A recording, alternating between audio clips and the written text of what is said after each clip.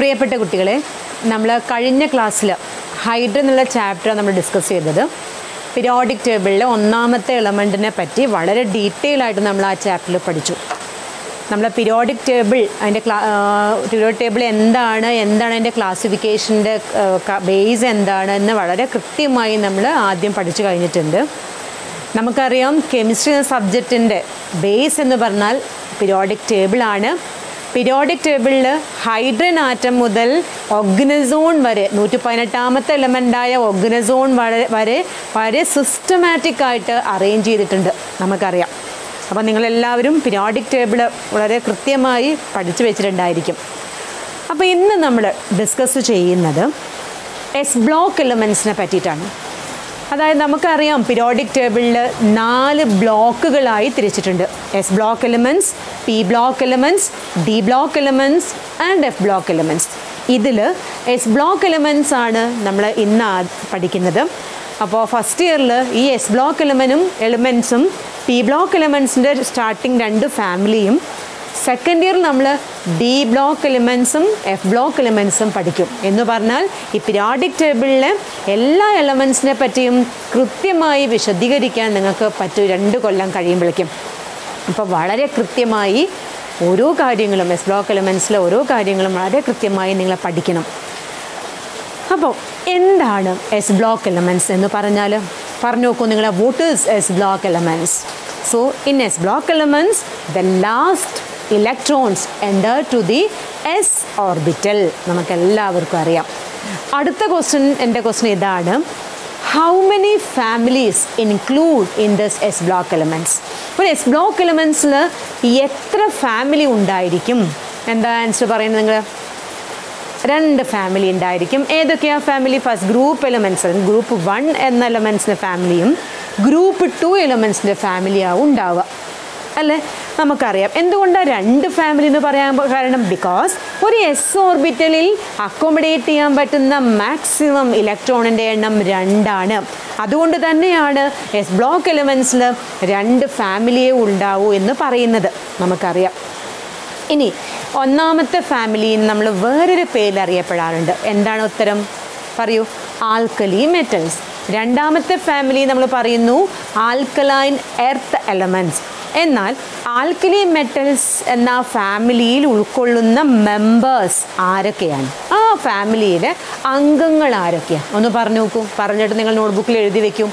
Lithium sodium potassium rubidium caesium francium. നിങ്ങൾ പറഞ്ഞിട്ടുണ്ടായിരിക്കും. ഇനി സെക്കൻഡ് ഗ്രൂപ്പിൽ ഇൻക്ലൂഡ് ചെയ്യുന്ന അല്ലെങ്കിൽ ആൽക്കലൈൻ എർത്ത് മെറ്റൽസിൽ ആൽക്കലൈൻ എർത്ത് മെറ്റൽസിലുള്ള എലമെന്റ്സ് ഏതൊക്കെയാണ്? Beryllium magnesium calcium strontium barium radium നമുക്കറിയാം. ഇനി എന്തുകൊണ്ടാണ് ഇവർക്ക് ഈ ഫാമിലിക്ക് ഇങ്ങനെ ആൽക്കലി മെറ്റൽ എന്നും ആൽക്കലൈൻ എർത്ത് മെറ്റൽ എന്നും പേരുണ്ടാവാനുള്ള കാരണം നിങ്ങൾ ചിന്തിച്ചിട്ടുണ്ടോ? ആൽക്കലി മെറ്റൽസ് എന്തുകൊണ്ടെന്നാൽ ഇവിടെ ഇവരുടെ എല്ലാവരുടെയും തന്നെ ഹൈഡ്രോക്സൈഡുകൾക്ക് ആൽക്കലൈൻ പ്രോപ്പർട്ടി ഉണ്ട്. നമ്മളെ മനസ്സിൽ നോക്കൂ. എൻ എ വോയിസ് എന്ന് പറയുമ്പോൾ നിങ്ങളെ മനസ്സിൽ ആദ്യം വരുന്നത് ആൽക്കലൈൻ പ്രോപ്പർട്ടി അല്ലേ?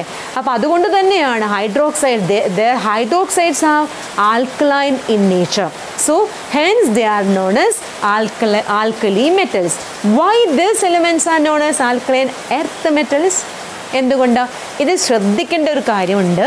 Except beryllium the other elements are known as alkaline earth metals നമ്മൾ ബെറിലിയത്തിനെ ഒഴിവാക്കിയിട്ടാണ് പറയുന്നത്. അത് രണ്ട് വാക്കുകളുണ്ട്.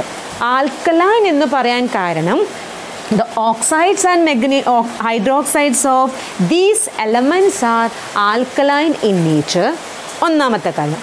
ഇനി എർത്ത് എന്ന് വരാനുള്ള കാരണം the high oxides of these elements found in earth crust അപ്പോൾ അതുകൊണ്ടാണ് ഇവരെ ആൽക്കലൈൻ എർത്ത് എലമെന്റ്സ് എന്ന് പറയുന്നത്. അപ്പോൾ നമ്മൾ കൃത്യമായി കാര്യങ്ങൾ മനസ്സിലാക്കി. ക്ലിയർ അല്ലേ ഇത്രയും പറഞ്ഞത്? നമ്മൾ അതിന്റെ ഇവർ പ്രകൃതിയിൽ എങ്ങനെ അവരുടെ അബണ്ടൻസ് എന്താണ് എന്ന് നമുക്ക് നോക്കി നോക്കാം. നോക്കൂ അബണ്ടൻസ് പറയുമ്പോൾ ഈ ആൽക്കലി മെറ്റൽസിൽ സോഡിയവും പൊട്ടാസ്യവും അബണ്ടന്റ് ആണ്. നന്നായിട്ട് ഇഷ്ടം പോലെ കാണാം പ്രകൃതിയിൽ. നിങ്ങൾക്കറിയാം സോഡിയം ഒക്കെ എൻ എ സി എൽ അല്ലേ ഒരുപാട് കാണുന്നുണ്ട്. അപ്പോൾ വളരെ അബണ്ടന്റ് ആണ് സോഡിയം പൊട്ടാസ്യം മെറ്റലായിട്ടല്ല കാണുന്നത്. മെറ്റൽ അതിന്റെ കോമ്പൗണ്ടുകളായിട്ട് നമുക്ക് പ്രകൃതിയിൽ ഇഷ്ടം പോലെ കാണാൻ പറ്റും. അപ്പോൾ ഈ എലിമെന്റ്സ് ഒന്നും തന്നെ ഫ്രീ സ്റ്റേറ്റിൽ കാണുന്നില്ല. അതിന് കാരണം നിങ്ങൾക്ക് അറിയുണ്ടാവും. അവർ വളരെ റിയാക്റ്റീവാണ് പറ്റും നമ്മൾ ഡീറ്റെയിൽ ആയിട്ട് പഠിക്കും. ഇനി ഇവിടെ ലിഥിയവും റുബീഡിയവും സീഷ്യവും ഒക്കെ റെയർ അബണ്ടൻസ് വളരെ കുറവാണ്. അവിടെ അബണ്ടൻസ് വളരെ കുറവാണ്. ഫ്രാൻഷ്യത്തിനെ പറ്റി പറയുകയാണെങ്കിൽ അവർ റേഡിയോ ആക്റ്റീവ് ആണ് എന്നുള്ളതാണ് ഫ്രാൻഷ്യത്തിനെ പറ്റി പറയാനുള്ളത്. അവരുടെ ഏറ്റവും ലോങ്കസ്റ്റ് ലീവ് ഐസോട്ടോപ്പാണ് ഫ്രാൻഷ്യം ടു ട്വന്റി ത്രീ. അതൊന്ന് ഓർമ്മിച്ചിരിക്കാം ഇനി നമ്മൾ ആൽക്കലൈൻ എർത്ത് മെറ്റൽസിന്റെ അബണ്ടൻസിനെ പറ്റി പറയുകയാണെങ്കിൽ മെഗ്നീഷ്യവും കാൽഷ്യവും വളരെ അബണ്ടന്റ് ആണ്. എർത്ത് ക്രസ്റ്റിൽ തന്നെ അഞ്ചാമതായി അബണ്ടന്റായി കാണുന്ന മെറ്റൽ മെഗ്നീഷ്യവും ആറാമതായി അബണ്ടന്റായി കാണുന്ന മെറ്റൽ കാൽഷ്യവുമാണ് എന്നാണ് പറയുന്നത്. അതൊക്കെ തന്നെ അവരുടെ കോമ്പൗണ്ട് ഫോമിലാണ് കാണുക. ഇനി ഇവിടെ സ്ട്രോൾഷ്യത്തിന്റെയും ബേരിയത്തിനും ലോവർ അബണ്ടൻസ് ആണുള്ളത്. ബെറിലിയം വളരെ റെയറായ ഒരു എലമെന്റ് ആണ്. റേഡിയം ആണെങ്കിൽ റെയറസ്റ്റ് ആണ്. അപ്പോൾ ഇത്രയുമാണ് അതിന്റെ അബണ്ടൻസ് ഇത് ജസ്റ്റ് ഒന്ന് മനസ്സിലാക്കി വെക്കാം. അപ്പോൾ നമുക്ക് മനസ്സിലായി. ഇനി നമ്മൾ ഡിസ്കസ് ചെയ്യുന്ന നെക്സ്റ്റ് പോയിന്റ് എന്ന് പറയുന്നത് ഇതിൽ നിങ്ങൾ പഠിച്ചിട്ടുണ്ട്. പിരിയോഡിക് ടേബിളിൽ പഠിച്ച ആ ചാപ്റ്റർ പഠിച്ചോ പഠിച്ചിട്ടുണ്ട്. ഒന്നാമത്തെ എലമെൻസിന് പിരിയോഡിക് ടേബിളിലെ ഒന്നാമത്തെ എലമെൻസിന് എപ്പോഴും അവരുടെ പ്രോപ്പർട്ടി ആ ഫാമിലിയിലെ മറ്റ് മെമ്പേഴ്സിൽ നിന്നും വളരെ ഡിഫറെന്റ് ആയിട്ടാണ് അനോമിനസ് പ്രോപ്പർട്ടിയാണ് ഉണ്ടാവുന്നത്. എന്തുകൊണ്ടാണ് അനോമിനസ് പ്രോപ്പർട്ടി ഉണ്ടാവാനുള്ള കാരണം? നിങ്ങൾ ആലോചിച്ച് നോക്കൂ. അവരുടെ സൈസ് അല്ലേ? നമുക്കറിയാം എപ്പോഴും ഒരു പ്രോപ്പർട്ടി സൈസുമായി വളരെ റിലേറ്റഡ് ആണ്. ഒരു സ്മോൾ സൈസ് പിന്നെ അടുത്ത property high ionisation enthalpy high electron negativity പിന്നെ absence of vacant D orbital എന്നിങ്ങനെ പ്രോപ്പർട്ടി അതിൽ കൃത്യമായി പഠിച്ചിട്ടുണ്ടായിരിക്കും. അതുപോലെ തന്നെ വേറൊരു കാര്യമാണ് ഡയഗണൽ റിലേഷൻഷിപ്പ് ഇവിടെ ലിഥിയത്തിന് സോഡിയത്തിനുമായുള്ള റിസംബ്ലൻസിനേക്കാൾ കൂടുതലാണ് ലിഥിയവും മെഗ്നീഷ്യവും തമ്മിൽ അതുപോലെ ബെറിലിയം നോക്കൂ ബോറോൺ അലുമിനിയം ബെറിലിയവും അലുമിനിയം തമ്മിൽ റിസംബ്ലൻസ് കാണിക്കാറുണ്ട്. ബോറോണും സിലിക്കണും തമ്മിൽ റിസംബ്ലൻസ് കാണിക്കാറുണ്ട്. ഇത് ഡയഗണലായിട്ട് കാണിക്കുന്നത് കൊണ്ട് ആ റിലേഷൻഷിപ്പിനെ നമ്മൾ എന്താ പറയുക ഡയഗണൽ റിലേഷൻഷിപ്പ് എന്നാണ് പറയുന്നത്. എന്തുകൊണ്ട്? എന്താണ് ഈ ഡയഗണൽ റിലേഷൻഷിപ്പിന് കാരണം? കാരണം എന്താണ് എപ്പോഴും ഒരു പ്രോപ്പർട്ടി സിമിലർ ആവാനുള്ള കാരണം എന്ന് പറഞ്ഞാൽ ഒരു സൈസിലുള്ള റിസംബ്ലൻസ് ആണ് അല്ലേ? Approximately similarity in the size പിന്നെ എന്തൊക്കെയാണ് നിങ്ങൾ പഠിച്ചിട്ടുണ്ടല്ലോ? അവിടെ ഇലക്ട്രോൺ നെഗറ്റിവിറ്റി ഏകദേശം സെയിം ആയിരിക്കും. Charge by radius ratio same ആണ്. സെയിം പോളറൈസബിലിറ്റി എന്നൊക്കെ പറഞ്ഞ് നിങ്ങൾ ഡീറ്റെയിൽ ആയിട്ട് പഠിച്ചിട്ടുണ്ട് ആ കാര്യങ്ങളൊക്കെ. ക്ലിയർ ആയിരിക്കും.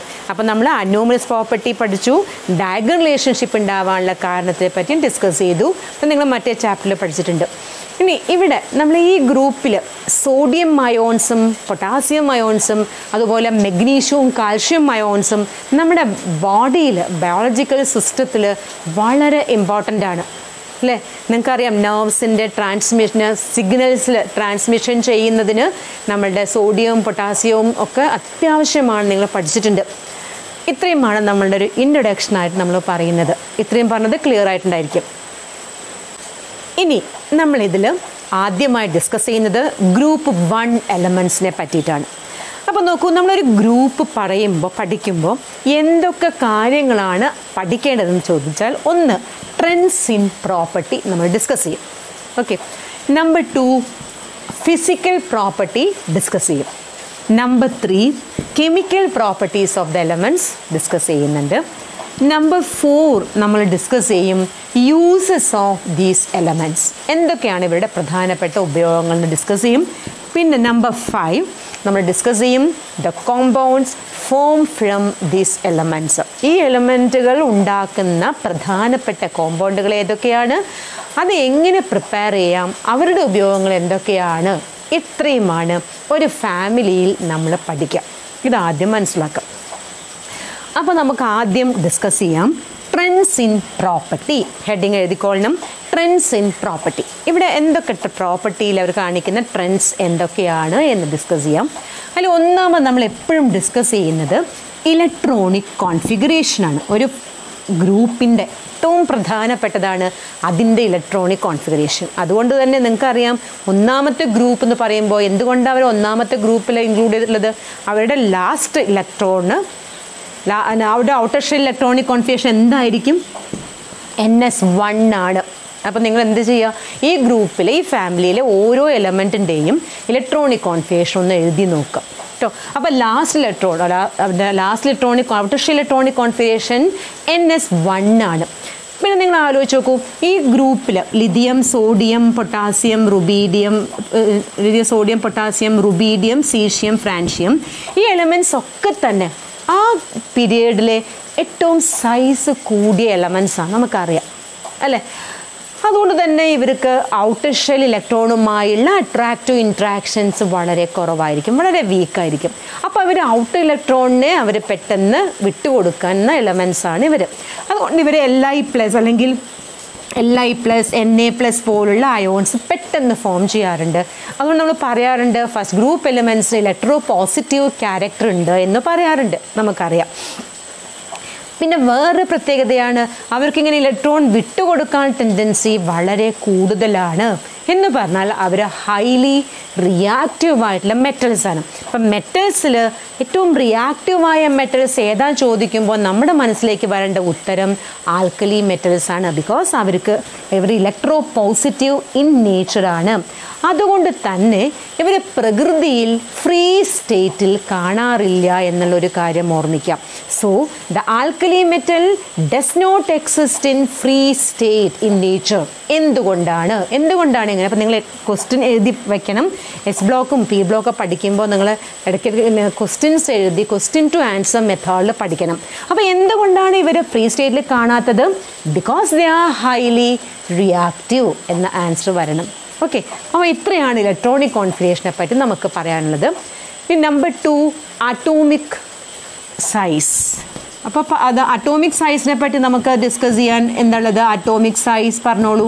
As we move down the group atomic size increases അറിയാം നമുക്ക്.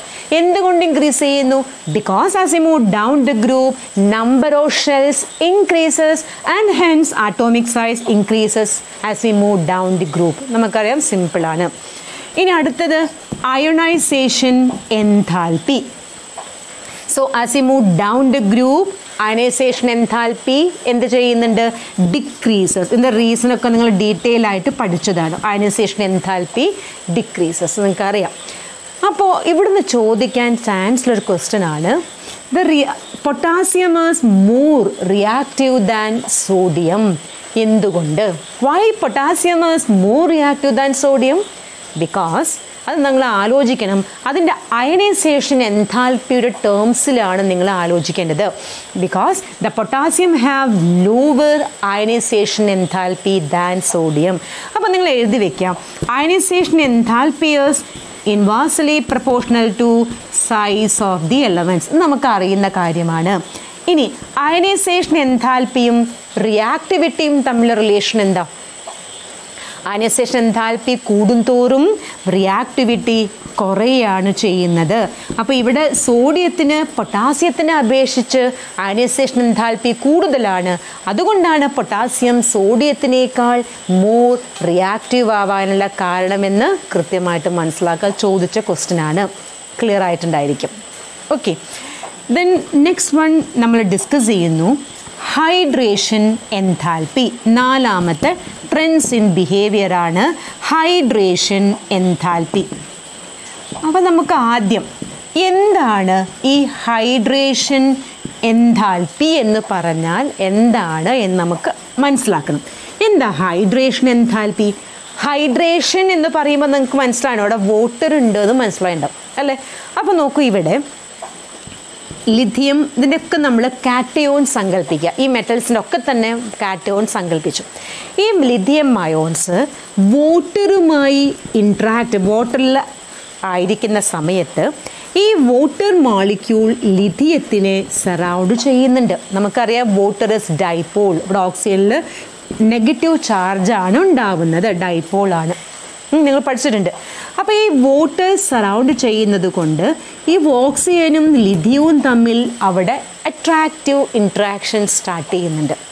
നിങ്ങൾക്കറിയാം എവിടെ അട്രാക്ഷൻ ഉണ്ടോ അവിടെ എനർജി സിസ്റ്റം ഡിക്രീസ് ചെയ്യാണ് ചെയ്യുന്നത്. അപ്പോൾ ഇവിടെ ആസ് എ റിസൾട്ട് ഇവിടെ എനർജി പുറത്തേക്ക് വിടുന്നു. ഈ എനർജിക്കാണ് നമ്മൾ ഹൈഡ്രേഷൻ എൻതാൽപ്പി എന്ന് പറയുന്നത്. ക്ലിയർ ആയിട്ട് മനസ്സിലാക്കാം. അപ്പോൾ ഒരു കാറ്റയോണിന് വോട്ടേഴ്സ് സറൗണ്ട് ചെയ്ത് നിൽക്കുമ്പോൾ ആ വോട്ടർ ഡൈപ്പോളായിട്ട് ആക്ട് ചെയ്യുന്നുണ്ട്. ആ വോട്ടറും കാറ്റയോണും തമ്മിലുള്ള അട്രാക്റ്റീവ് ഇൻട്രാക്ഷന്റെ ഫലമായിട്ട് റിലീസ് ചെയ്യുന്ന എനർജിക്ക് പറയുന്ന പേരാണ് ഹൈഡ്രേഷൻ എൻതാൽപ്പി ഇവിടെ നമ്മൾ മനസ്സിലാക്കണം. Hydration enthalpy inversely proportional to size of the cation എന്ന് മനസ്സിലാക്കാം. അപ്പോൾ ഇവിടെ നോക്കൂ ഇവിടെ ഹൈ ഇവിടെ ഹൈഡ്രേഷൻ എൻതാൽപ്പി കാറ്റയോണിന്റെ സൈസ് കുറയും തോറും എന്ത് ചെയ്യും? ഹൈഡ്രേഷൻ എൻതാൽപ്പി കൂടും. കാറ്റയോണിന്റെ സൈസ് കൂടും തോറും ഹൈഡ്രേഷൻ എൻതാൽപ്പി കുറയുകയാണ് ചെയ്യുന്നത്. അങ്ങനെയാണെങ്കിൽ ഇവിടെ ഹൈഡ്രേഷൻ എൻതാൽപ്പി ഏറ്റവും അധികമുള്ള എലമെന്റ് ഏത് കാറ്റയോണാണ് നിങ്ങൾ എഴുതുന്നത് trend എഴുതിക്കോളൂ. As you move down the group എങ്ങനെ വരാം? ഏറ്റവും ഹൈഡ്രേഷൻ എന്താൽപ്പി ഉള്ളത് നിങ്ങൾ എഴുതിയിട്ടുണ്ടാവും. ലിഥിയം അയോൺസ് പിന്നെ sodium potassium ions rubidium and caesium മനസ്സിലായിട്ടുണ്ടാവും അപ്പോൾ ഏറ്റവും സ്മോളസ്റ്റ് സൈസ് ലിഥിയം അയോണാണ് അത് ഏറ്റവും കൂടുതൽ വോട്ടറിനെ ഹോൾഡ് ചെയ്യുന്നുണ്ട്. അതുകൊണ്ട് ലിഥിയം അയോൺസിനാണ് ഹൈഡ്രേഷൻ എൻതാൽപ്പി കൂടുതലത്. അതുകൊണ്ട് തന്നെയാണ് ഇപ്പോൾ നോക്കൂ ലിഥിയം ക്ലോറൈഡ് ഈ ലിഥിയം ക്ലോറൈഡ് എപ്പോഴും ഹൈഡ്രേറ്റഡ് ആയിട്ട് എക്സിസ്റ്റ് ചെയ്യാറുണ്ട്. എൽ ഐ സി എല്ലിന്റെ കൂടെ എപ്പോഴും ടു എച്ച് ടു ഒ മോളിക്കുളുണ്ട് പക്ഷേ എൻ ഐ സി എല്ലിന്റെ കൂടെ അങ്ങനെ ടു എച്ച് ടു ഒ മോളിക്കുളൊന്നും ഉണ്ടാവാറില്ല. എന്തുകൊണ്ടാണ് എൽ ഐ സി എൽ അല്ലെങ്കിൽ lithium compounds lithium halides are hydrated in nature? Because lithium plus ions that has it is due to the high hydration enthalpy of lithium ion അങ്ങനത്തെ questions എന്ന് ചോദിക്കാറുണ്ട്. അപ്പോൾ നമ്മൾ മൂന്ന് ക്വസ്റ്റ്യൻ പറഞ്ഞു. ഒന്ന് alkali metal does not found free state in nature number two potassium as more reactive than sodium number three lithium salts are heavily hydrated why മൂന്ന് question discuss ചെയ്തു.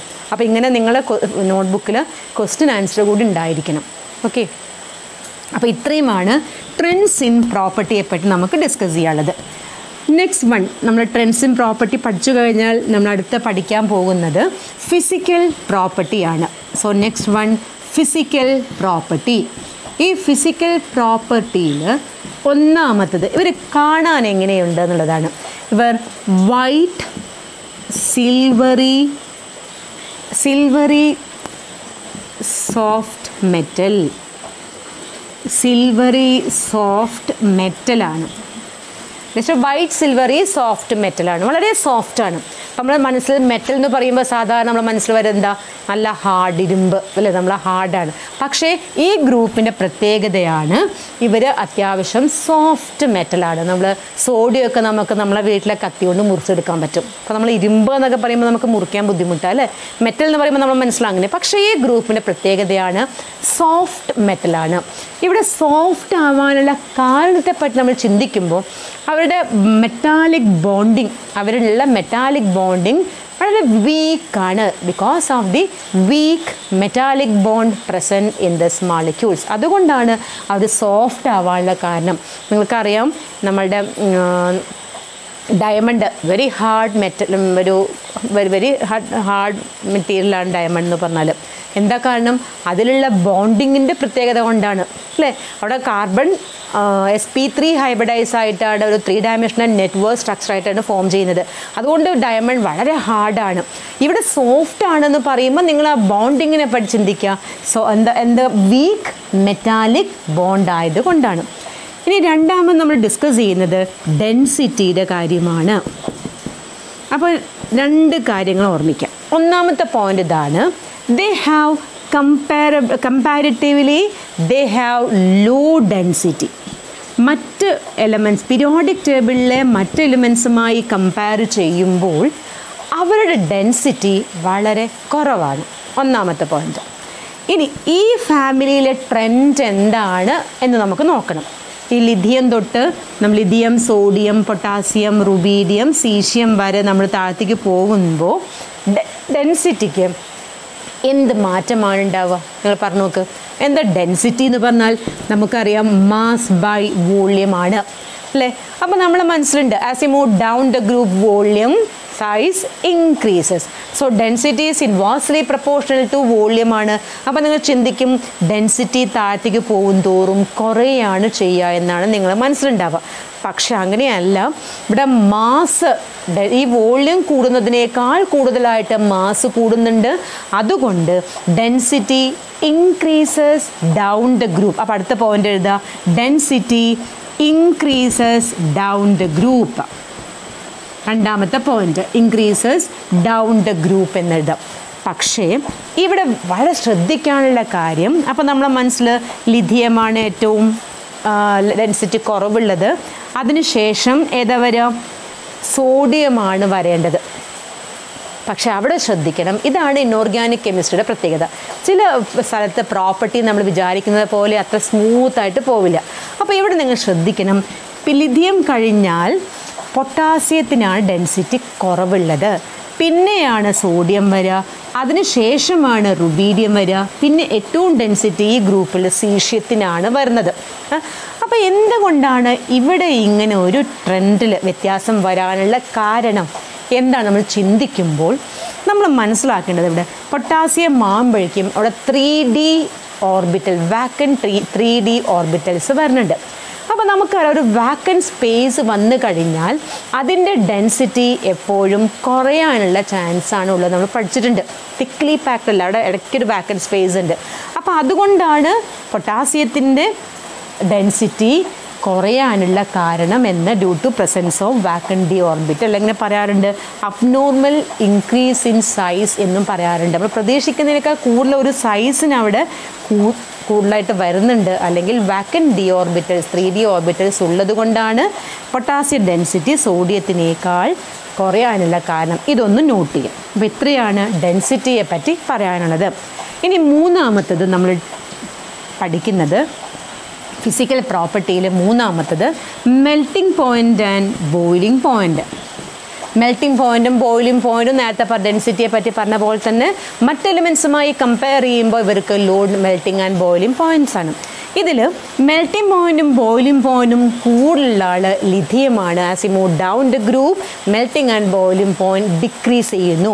കാരണം മെൽറ്റിംഗ് പോയിന്റ് ലിഥിയത്തിന് കൂടാൻ കാരണം അവരുടെ എഫക്റ്റീവ് പാക്കിംഗ് ആണ്. നിങ്ങൾക്കറിയാം melting point എന്ന് പറയുമ്പോൾ നമ്മൾ ചിന്തിക്കുന്നത് പാക്കിംഗ് എഫിഷ്യൻസിയെ പറ്റിയിട്ടാണ്.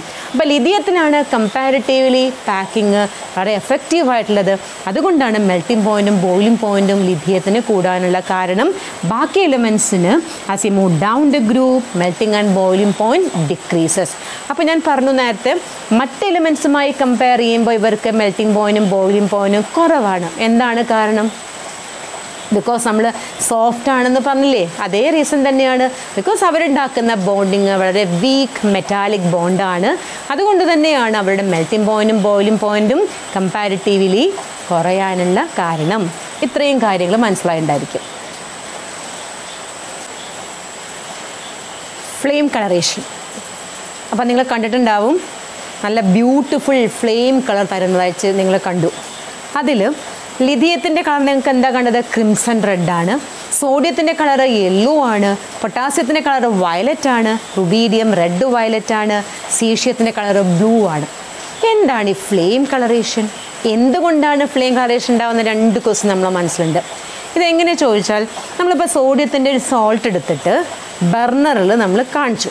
സോഡിയത്തിന്റെ സോൾട്ട് തീപ്പെട്ടികളുടെ അറ്റത്ത് വെച്ചിട്ട് നമ്മൾ ബർണറിൽ കാണിക്കുന്നു. അപ്പോൾ ബർണറിന്റെ ഫ്ലെയിമിന് യെല്ലോ കളറുണ്ട് നമ്മൾ ഫിഗറിൽ കണ്ടു ചിത്രത്തിൽ കണ്ടു നിങ്ങൾ അപ്പോൾ നിങ്ങളുടെ മനസ്സിൽ എന്താണ് എന്തുകൊണ്ടാണ് ഇങ്ങനെ യെല്ലോ കളർ ഉണ്ടാവാൻ കളർ ഉണ്ടാവാനുള്ള കാരണം എന്താ? ഇതിന്റെ ആൻസർ കിട്ടാൻ നമ്മൾ ഹൈഡൻ സ്പെക്ട്രം പഠിച്ചിട്ടുണ്ട്. അതേ ആ കൺസെപ്റ്റ് മനസ്സിൽ കൊണ്ടു നമ്മൾ ഫ്ലെയിമിൽ കാണിക്കുന്ന സമയത്ത് ഇലക്ട്രോണുകൾ എന്ത് ചെയ്യുന്നു? എക്സ് ഗ്രൗണ്ട് സ്റ്റേറ്റിൽ നിന്ന് ഹയർ സ്റ്റേറ്റിലേക്ക് എക്സൈറ്റ് ചെയ്യുന്നുണ്ട്. അല്ലേ? അവർ റിട്ടേൺ ചെയ്യുമ്പോൾ എമിറ്റ് ചെയ്യുന്ന റേഡിയേഷൻസ് വിസിബിൾ എല്ലാവരും നല്ല കളർഫുൾ ഫാമിലിയാണ് ആൽക്കലി മെറ്റൽസ് അവരുടെ കളർ ഫ്ലെയിം കളറേഷൻ നല്ല ബ്യൂട്ടിഫുൾ ആണ്. അപ്പം അവരുടെ കളർ ഇപ്പോൾ വിസിബിൾ റീജിയനിൽ വരുന്നുണ്ട്. അപ്പം നമുക്ക് ലാബിൽ പോയിട്ട് നമ്മുടെ കണ്ണ് കൊണ്ട് തന്നെ കാണാൻ പറ്റും എല്ലാവരുടെയും പ്രത്യേക പ്രത്യേക കളേഴ്സ് അപ്പോൾ എല്ലാവർക്കും വ്യത്യാസങ്ങളായ വ്യത്യസ്തമായ കളറുള്ളത് എന്താ വ്യത്യസ്തമായ കളർ ഉണ്ടാവാൻ കാരണം? ബിക്കോസ് ഓരോരുത്തരുടെയും അയനൈസേഷൻ എൻതാൽപ്പി വ്യത്യാസമുണ്ട്. അപ്പോൾ അവർ അബ്സോർബ് ചെയ്യുന്ന എനർജി വ്യത്യാസം വരും. അപ്പോൾ അവർ എമിറ്റ് ചെയ്യുന്ന റേഡിയേഷന്റെ ഫ്രീക്വൻസി മാറും. അതുകൊണ്ട് കളേഴ്സും മാറും. നമ്മൾ പഠിച്ചിട്ടുണ്ട് അല്ലേ? അതുകൊണ്ട് ഫ്ലെയിം കളറേഷൻ വ്യത്യാസമാണ്. ഈ ഗ്രൂപ്പിന്റെ പ്രത്യേകതയാണ് all alkali metals give characteristic colour to flame നമ്മൾ ഫ്രാൻഷ്യൻ കൺസിഡർ ചെയ്യാറില്ല. Because it is radioactive ആയതുകൊണ്ട്. ഓക്കെ അപ്പോൾ ഇത്രയുമാണ് ട്രെൻഡ്സ് ഇൻ ഫിസിക്കൽ പ്രോപ്പർട്ടിയിൽ നമുക്ക് ഡിസ്കസ് ചെയ്യാനുള്ളത്. അപ്പോൾ നമ്മൾ ആദ്യം അതിന്റെ ഫിസിക്കൽ സ്റ്റേറ്റ് പറഞ്ഞു നമ്പർ ടു ഡെൻസിറ്റി പറഞ്ഞു പിന്നെ melting and boiling point then flame colouration ഇത്രയും clear ആയിട്ടുണ്ടായിരിക്കും okay then next one chemical properties നമ്മൾ ഡിസ്കസ് ചെയ്യുന്നു കെമിക്കൽ പ്രോപ്പർട്ടീസ് ഈ എലമെന്റ്സ് കെമിക്കൽ പ്രോപ്പർട്ടി ഇവരുടെ എങ്ങനെയാണ് ഉണ്ടാ എങ്ങനെയാ എന്താണ് അവരുടെ കെമിക്കൽ പ്രോപ്പർട്ടിയെ പറ്റി നമുക്ക് അറിയുന്നത് എന്നുള്ളത്. കെമിക്കൽ പ്രോപ്പർട്ടി അപ്പോൾ ഈ ഗ്രൂപ്പിലെ എലമെൻസ് ഒക്കെ തന്നെ മറ്റ് നമ്മൾ പിരിയോഡിക് ടേബിളിലെ മറ്റു മെറ്റൽസുമായിട്ട് കമ്പയർ ചെയ്യുമ്പോൾ ഇവർ നല്ല കെമിക്കൽ റിയാക്റ്റീവ് കെമിക്കലി റിയാക്റ്റീവാണ് എന്തുകൊണ്ടാണ് ഇവരുടെ കെമിക്കൽ റിയാക്ടിവിറ്റി ഇത്രയും കൂടാൻ കാരണം ചോദിച്ചാൽ due to their large size and low ionisation enthalpy ഈ ഗ്രൂപ്പിലെ എലമെൻസിന് മറ്റ് പീരിയോഡിക് ടേബിളിലെ മറ്റ് എലമെൻസുമായി കമ്പയർ ചെയ്യുമ്പോൾ അയനൈസേഷൻ എൻതാൽപ്പി കുറയുക നമ്മൾ നേരത്തെ പറഞ്ഞിട്ടുണ്ടായിരുന്നു അയനൈസേഷൻ എൻതാൽപ്പി കുറയും തോറും റിയാക്ടിവിറ്റി കൂടുകയാണ് ചെയ്യുന്നത് നമ്മൾ പറഞ്ഞിട്ടുണ്ട്. അപ്പം നിങ്ങളെ മനസ്സിലൊക്കെ തന്നെ എങ്ങനെ ഇവിടെ ഹൈലി റിയാക്റ്റീവ് ആണെന്ന് പറയുമ്പോൾ നിങ്ങളുടെ മനസ്സിൽ ഓടി വരുന്നത് സോഡിയം മെറ്റൽ വെള്ളത്തിലിട്ടാലുള്ള കഷ് കണ്ടീഷൻ അല്ലേ? വെള്ളത്തിൽ അപ്പോൾ അത് കത്തുന്നതായിട്ട് കാണാൻ പറ്റും. അത്രയും വെള്ളത്തിൽ നിന്ന് പോലും കത്തുന്ന ഒരാളാണ് സോഡിയം. അപ്പോൾ അത്രയും റിയാക്റ്റീവാണ് ഈ എലമെന്റ്സ് എന്നുള്ളതാണ്.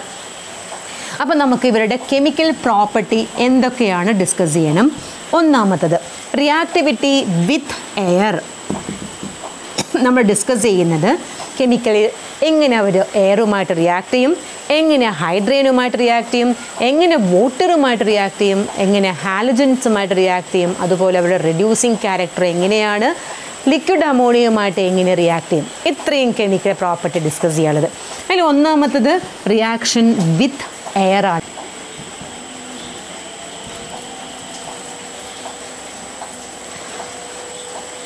അപ്പോൾ റിയാക്ടിവിറ്റി വിത്ത് എയർ നമുക്ക് ഡിസ്കസ് ചെയ്യണം. നമുക്കറിയാം അവർ എയർ എന്ന് പറഞ്ഞാൽ ഓക്സിജനുമായിട്ടുള്ള റിയാക്ടിവിറ്റി നമ്മൾ first one reactivity with oxygen നമ്മൾ ഡിസ്കസ് ചെയ്യുന്നു. എല്ലാവരും വിഗറസ് ആയിട്ട് തന്നെ ഓക്സിജനുമായി റിയാക്ട് ചെയ്യുന്നു. ഹൈലി റിയാക്റ്റീവ് വിത്ത് ഓക്സിജനാണ് അതിൽ ഒന്നാമത്തെ നോക്കൂ. പക്ഷേ ഇവിടെ നമുക്കിന് generally they react with oxygen to form a particular oxygen എന്ന് പറയാൻ പറ്റില്ല. With oxygen to form lithium oxide L I two O lithium oxide form ചെയ്യുന്നു. With oxygen to form N A two O two sodium peroxide ശ്രദ്ധിക്കണേ. പിന്നെ last നമ്മൾ M plus O two gives M O two ഈ M എന്ന് പറഞ്ഞാൽ potassium ആവാം rubidium ആവാം caesium ആവാം so potassium combine with air oxygen to form potassium super oxide എന്നാണ് പറയുന്നത്. അപ്പോൾ നോക്കൂ lithium normal oxide sodium peroxide potassium super oxide വളരെ ശ്രദ്ധിക്കണം. അപ്പോൾ ലിഥിയം നോർമൽ ഓക്സൈഡാണ് മോസ്റ്റ് സ്റ്റേബിൾ വരുന്നത്.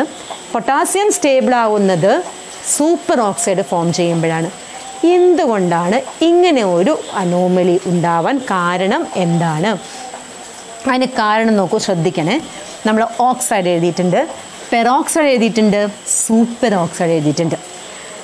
ഓക്സൈഡ് എന്ന് പറയുമ്പോൾ ഒ ടു മൈനസ് ആണ്. ഒ ടു മൈനസ് ആണ്. ഇത് പെറോക്സൈഡ്.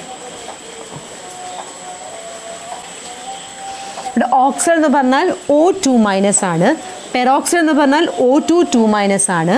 സൂപ്പർ ഓക്സൈഡ് എന്ന് പറഞ്ഞാൽ ഒ ടു മൈനസ് ആണ്. അയോൺസ് വ്യത്യാസമുണ്ട്. അപ്പോൾ അയോൺസ് വ്യത്യാസമാകുമ്പോൾ അവരുടെ സൈസിലും വ്യത്യാസം കാണുന്നുണ്ട്. ഓക്സൈഡിന്റെ സൈസ് ഏറ്റവും ചെറുതാണ് പിന്നെ പെറോക്സൈഡ് പിന്നെ സൂപ്പർ ഓക്സൈഡ് ഏറ്റവും വലുതാണ്. ഇതാണ് അതിന്റെ ഓർഡർ വരുന്നത് സൈസിലെ ഓർഡർ അപ്പോൾ എന്തുകൊണ്ടാണ് ലിഥിയം നോർമൽ ഓക്സൈഡ്? ലിഥിയത്തിന്റെ ഇതാണ് more stable lithium normal oxide lithium super oxide unstable ആണ്. അങ്ങനെ ഫോം ചെയ്യാറില്ല. അപ്പോൾ എന്താണ് ഇങ്ങനെ ഉണ്ടാവാനുള്ള കാരണം ചോദിച്ചാൽ നിങ്ങൾ എഴുതി വയ്ക്കാം a smaller cation can stabilise a smaller cation can stabilise a smaller anion stabilise a smaller anion ഇത് പഠിച്ചു വെക്കണം. ഇതാണ് ഇതിന്റെ ബേസ് എന്ന് പറഞ്ഞാൽ ഇതിങ്ങനെ റിയാക്ഷൻ പോസിബിൾ ആവാനുള്ള കാരണം a smaller cation can stabilise a smaller anion ഒരു ചെറിയ കാറ്റയോണിന് ഒരു ചെറിയ ആനയോണിനെ മാത്രമേ സ്റ്റെബിലൈസ് ചെയ്യാൻ പറ്റുള്ളൂ. ഇപ്പം നിങ്ങൾക്ക് മനസ്സിലായിട്ടുണ്ടാവും. എന്തുകൊണ്ടാണ് ലിഥിയം നോർമൽ ഓക്സൈഡ് സ്റ്റേബിളും ലിഥിയം സൂപ്പർ ഓക്സൈഡ് അൺസ്റ്റേബിൾ ആവാനുള്ള കാരണം? ബിക്കോസ് ലിഥിയം അയോൺ വളരെ ചെറുതാണ്. അപ്പോൾ ഈ ലിഥിയം അയോണിന് ഈ ചെറിയ ഓക്സൈഡിനെ പിന്നെ സ്റ്റെബിലൈസ് ചെയ്യാനുള്ള കപ്പാസിറ്റിയേ ഉള്ളൂ. ഇത്രയും വലിയ സൂപ്പർ ഓക്സൈഡിന് സ്റ്റെബിലൈസ് ചെയ്യാനുള്ള കപ്പാസിറ്റി ഇല്ല. അപ്പോൾ എപ്പോഴും നമ്മളൊരു സോൾട്ട് ഫോം ചെയ്യുന്നപ്പോൾ സപ്പോസ് എക്സും വൈയും ഒരു സോൾട്ടാണ് അല്ല സോറി എക്സ് പ്ലസും വൈ മൈനസ് അയോൺസ് ഉണ്ട്. അത് അങ്ങനെ സോൾട്ട് ഫോം ചെയ്യുകയാണ് എങ്കിൽ ഇവിടെ സൈസിൽ ഒരു അഡ്ജസ്റ്റ്മെന്റ് ഉണ്ടായിരിക്കും എപ്പോഴും. ഇയാൾക്ക് താങ്ങാവുന്ന ആനിയോൺ മാത്രമേ ഇവിടെ ഉണ്ടാവുള്ളൂ. അതാണ് a smaller cation can stabilise a smaller anion clear ആയിട്ടുണ്ടായിരിക്കും? Very important okay then ഇത്രയാണ് റിയാക്ഷൻ വിത്ത് ഓക്സിജൻ നമുക്ക് ഡിസ്കസ് ചെയ്യാനുള്ളത്. Next one reaction with nitrogen എയറിൽ നമ്മൾ റിയാക്ഷൻ വിത്ത് എയർ പറഞ്ഞപ്പോൾ അതിൽ reaction with oxygen reaction with nitrogen അതിൽ B ആണ്. Reaction with nitrogen ഇവിടെ ശ്രദ്ധിക്കണേ റിയാക്ഷൻ വിത്ത് നൈട്രജൻ താഴെ എഴുതി വെക്കണം only lithium combine with nitrogen directly നല്ല ശ്രദ്ധിക്കുക only lithium combine with nitrogen directly lithium മാത്രമാണ് നൈട്രജനുമായി കമ്പൈൻ ചെയ്തിട്ട് ലിഥിയം നൈട്രൈഡ് തരുന്നുള്ളൂ എന്ന കാര്യം ശ്രദ്ധിക്കാം. എന്തുകൊണ്ടാണ്? ലിഥിയത്തിന് മാത്രം ഈ കപ്പാസിറ്റിയിൽ ഒരിക്കലും സോഡിയോ പൊട്ടാസ്യോ നൈട്രജനുമായി കമ്പൈൻ ചെയ്ത് നൈട്രൈഡുകൾ ഫോം ചെയ്യാറില്ല. എന്താ ലിഥിയത്തിന് മാത്രം ഈ പ്രത്യേക കപ്പാസിറ്റി ഉള്ളത്? ബിക്കോസ് നോക്കൂ ഇവിടെ ലിഥിയം ഇവിടെ നൈട്രേറ്റ് നമ്പർ ത്രീ മൈനസ് അല്ലേ? ലിഥിയം പ്ലസ് സ്റ്റേറ്റിലും അപ്പം ലിഥിയം നൈട്രേറ്റ് ഫോം ചെയ്യും സീറോ സ്റ്റേറ്റിൽ നിന്ന് പോസിറ്റീവ് സ്റ്റേറ്റിലേക്ക് മാറി എന്ന് പറഞ്ഞാൽ ലിഥിയം ഇലക്ട്രോണുകളെ വിട്ടുകൊടുക്കുന്നുണ്ട് അപ്പോൾ ഇവിടെ എന്താ കാരണം ചോദിച്ചാൽ lithium has lithium is a strongest it is a strongest reducing agent in the first group elements ലിഥിയമാണ് strongest reducing agent അത് എന്തുകൊണ്ട് നമ്മൾ വഴിയെ പഠിക്കും?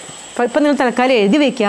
Because lithium is a strongest reducing agent അപ്പം നമ്മൾ കെമിക്കൽ പ്രോപ്പർട്ടീസിൽ രണ്ട് ക്വസ്റ്റിന്റെ ആൻസർ നമ്മൾ പഠിച്ചു. ഒന്ന് ഫസ്റ്റ് ക്വസ്റ്റൻ എന്താ വരാം? Lithium forms normal oxide while potassium forms super oxide അതിന്റെ റീസൺ നിങ്ങൾക്ക് അറിയാം. അല്ലെങ്കിൽ സോഡിയം ഓൺലി ഫോംസ് പെറോക്സൈഡ് അതിന്റെ റീസൺ നിങ്ങൾക്ക് അറിയാം.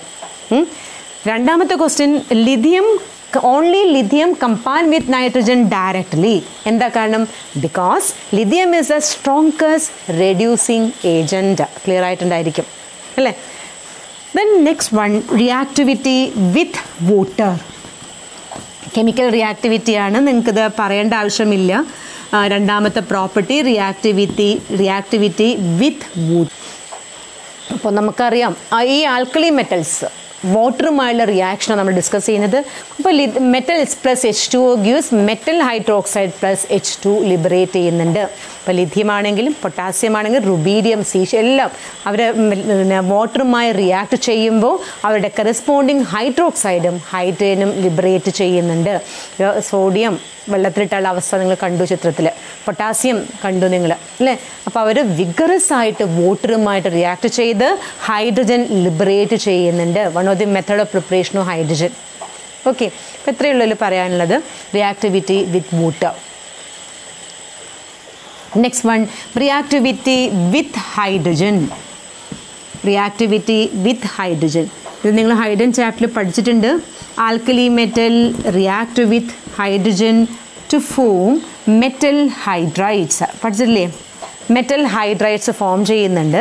ഇവിടെ ഹൈഡ്രജൻ മൈനസ് വൺ ഓക്സിഡേഷൻ സ്റ്റേറ്റിലാണ് ഇവർ അയണിക് ഹൈഡ്രജൻ എന്ന് പറഞ്ഞ ക്ലാസിഫിക്കേഷനിൽ വരുന്നതാണ്. So alkali all alkali metal combine with hydrogen to form metal hydride clear ആയിട്ടുണ്ടായിരിക്കും.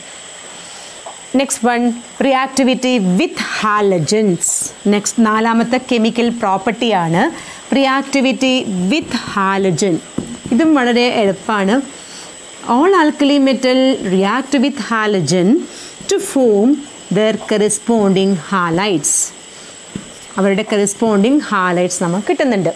Lithium ആണെങ്കിൽ ലിഥിയത്തിന്റെ ഹാലൈറ്റ്സ് ആയി lithium chloride lithium plus chlorine gives lithium chloride അങ്ങനെ നമുക്ക് അവരുടെ കറസ്പോണ്ടിങ് ഹാലൈറ്റ്സ് ഫോം ചെയ്യുന്നുണ്ട്. പക്ഷേ ഇവിടെ ശ്രദ്ധിക്കേണ്ട ഒരു കാര്യം ഇതാണ്. ലിഥിയം ക്ലോറൈഡ് അതിന്റെ പ്രോപ്പർട്ടി കുവാലന്റ് ആണ്. ലിഥിയത്തിന്റെ ഹാലൈറ്റ്സ് ഒക്കെ കുവാലന്റ് ആയിട്ടാണ് കാണുന്നത്. ബാക്കിയുള്ള ഹാലൈറ്റ്സ് ബാക്കി സോഡിയത്തിന്റെ പൊട്ടാസ്യത്തിന്റെ ഒക്കെ ഹാലൈറ്റ്സ് അയണിക്കാണ്.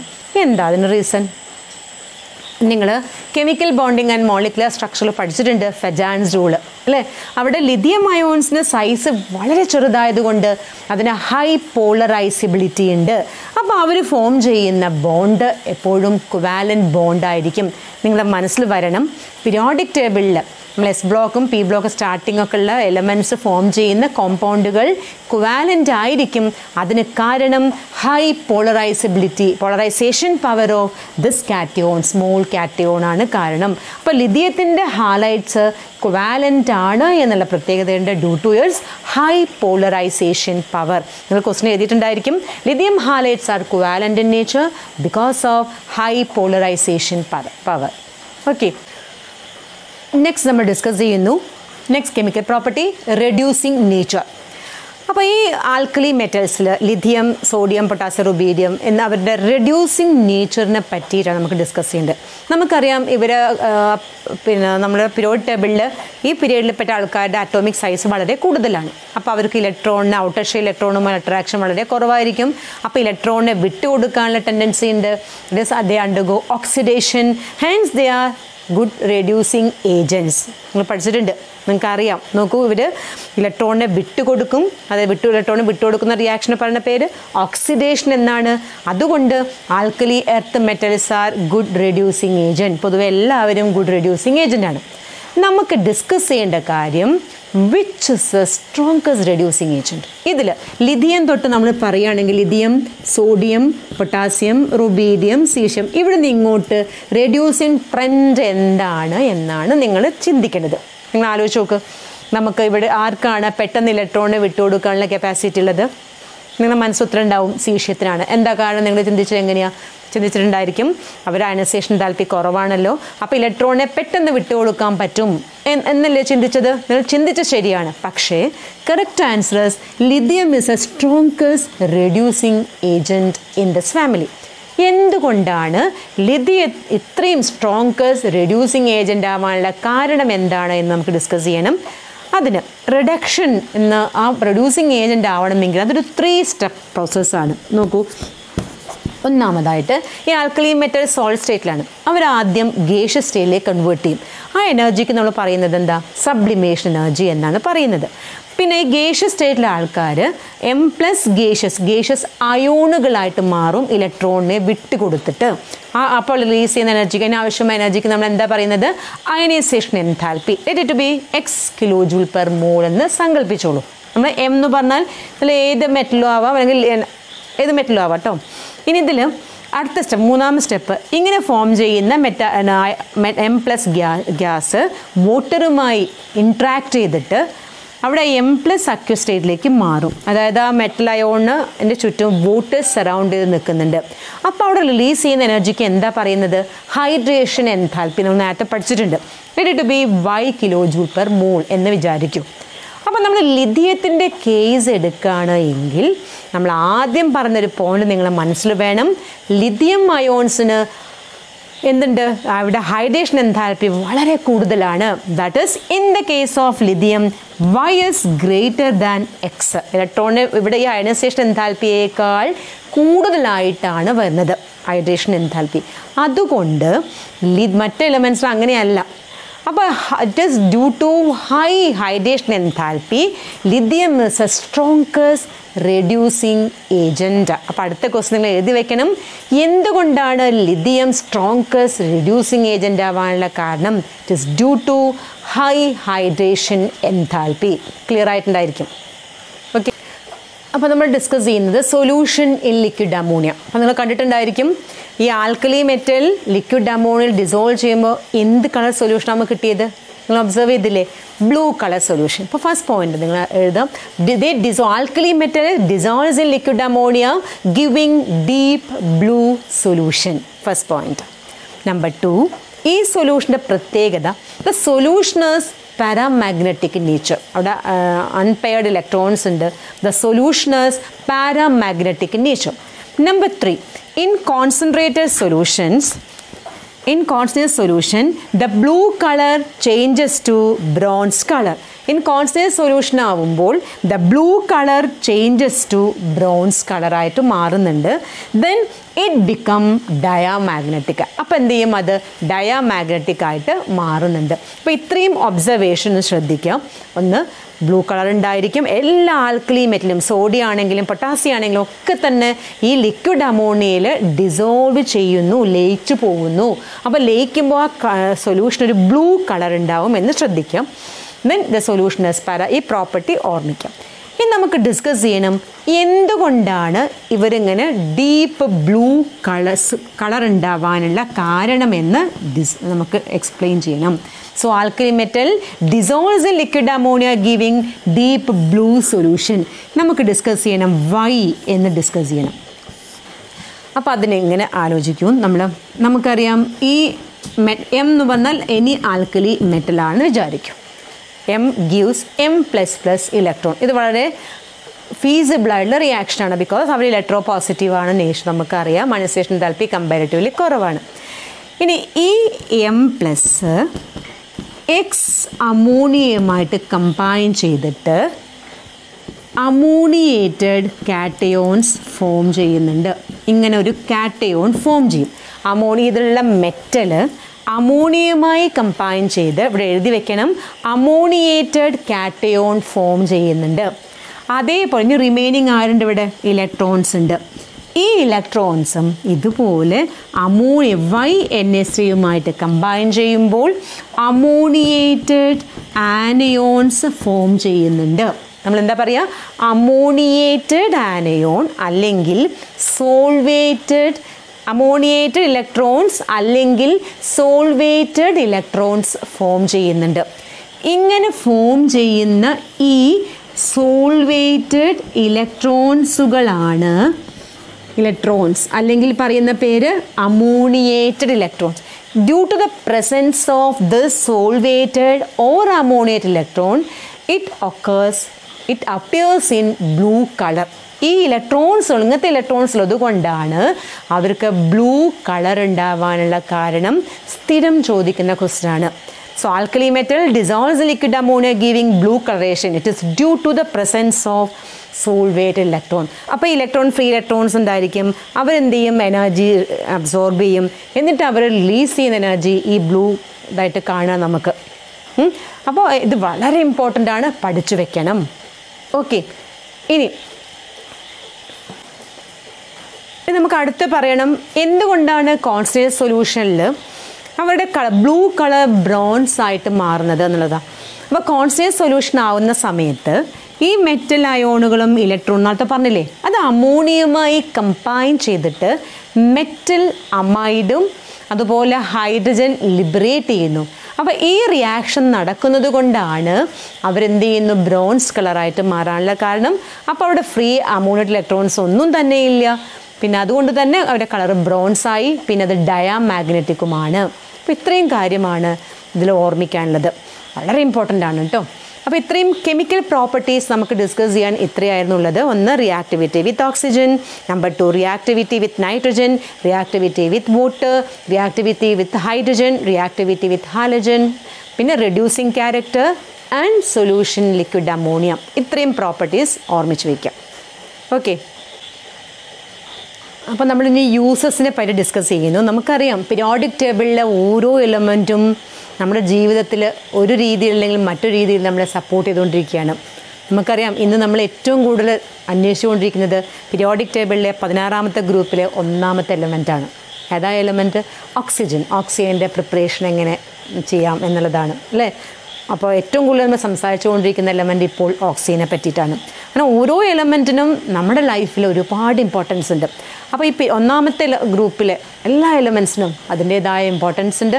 അപ്പോൾ എന്തൊക്കെയാണ് ഇവരുടെ യൂസസ് ഒന്നാമത്തെ ലിഥിയാണ് ലിഥിയത്തിന്റെ യൂസ് എന്താണ്? കമ്പാരിറ്റീവ്ലി മറ്റ് എലമെൻസിനെ കമ്പയർ ചെയ്യുമ്പോൾ കുറച്ചുകൂടെ ഹാർഡാണ് ലിഥിയം അപ്പോൾ ഇവിടെ അലോയ്സ് ഉണ്ടാക്കാൻ ഉപയോഗിക്കാറുണ്ട്.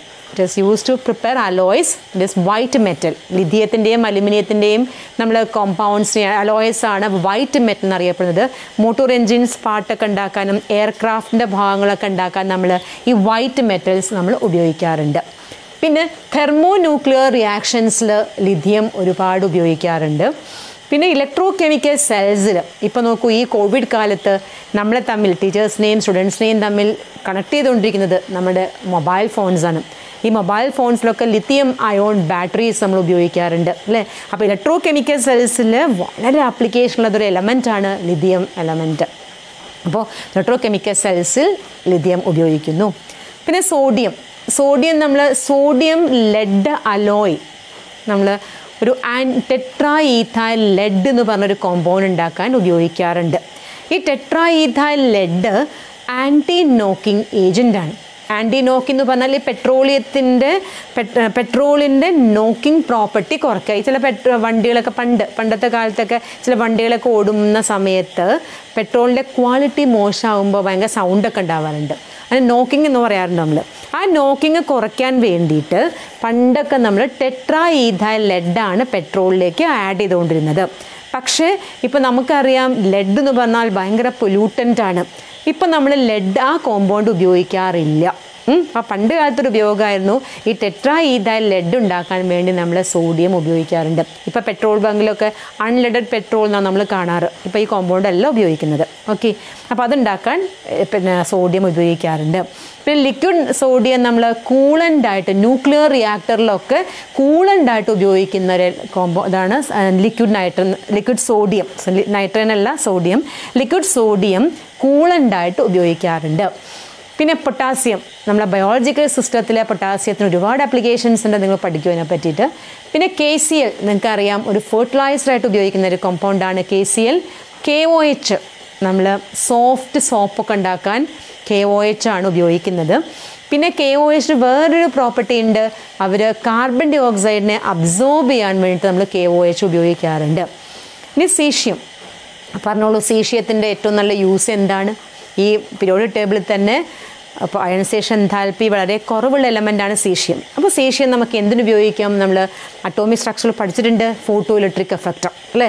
അപ്പോൾ ഫോട്ടോ ഇലക്ട്രിക് എഫക്റ്റ് ഏറ്റവും കൂടുതൽ നന്നായി കാണിക്കുന്ന എലമെന്റാണ് സീഷ്യം അപ്പോൾ ഫോട്ടോ ഇലക്ട്രിക് സെൽസ് ഒക്കെ നമ്മൾ ഉണ്ടാക്കാൻ വേണ്ടിയിട്ട് ഉപയോഗിക്കുന്ന എലമെന്റാണ് സീഷ്യം പൊട്ടാസ്യം ഒക്കെ ഉപയോഗിക്കാം. പക്ഷേ അതിനേക്കാൾ ഇഫക്റ്റീവായിട്ട് നമ്മൾ ഉപയോഗിക്കാൻ പറ്റിയ എലമെന്റാണ് സീഷ്യം അപ്പോൾ ഇത്രയുമാണ് ആൽക്കലി മെറ്റൽസിന്റെ ഇമ്പോർട്ടന്റ് യൂസസ് ഓരോ യൂസും കൃത്യമായിട്ട് പഠിക്കാം. അപ്പോൾ ഇത്രയും ഇന്ന് പഠിച്ച ഇത്രയും കാര്യങ്ങൾ നിങ്ങൾക്ക് ഓർമ്മയില്ലേ? നമ്മൾ വളരെ ജസ്റ്റ് വളരെ കുറച്ച് കാര്യമേ പറഞ്ഞിട്ടുള്ളൂ. അപ്പോൾ നമ്മൾ ആദ്യം ഇൻട്രൊഡക്ഷൻ പറഞ്ഞു. പിന്നെ നമ്മൾ anomalous property of first element diagonal റിലേഷൻഷിപ്പിനെ പറ്റി പറഞ്ഞു. പിന്നെ ട്രെൻഡ്സ് ഇൻ പ്രോപ്പർട്ടി ഡിസ്കസ് ചെയ്തു. ഫിസിക്കൽ പ്രോപ്പർട്ടി ഡിസ്കസ് ചെയ്തു chemical properties of this element discuss ചെയ്തു then uses of this elements ഇത്രയും കാര്യങ്ങൾ മനസ്സിലായിട്ടുണ്ടാവുമെന്ന് വിചാരിക്കുന്നു. നന്നായിട്ട് പഠിക്കുക. ക്വസ്റ്റ്യൻ എഴുതി ഓരോ sentence N C R T book വായിക്കുമ്പോൾ ഓരോ സെന്റൻസും ഓരോ ക്വസ്റ്റ്യൻ ഉണ്ടാക്കിയിട്ട് ആൻസർ എഴുതുക. നന്നായി പഠിക്കാം ഓക്കെ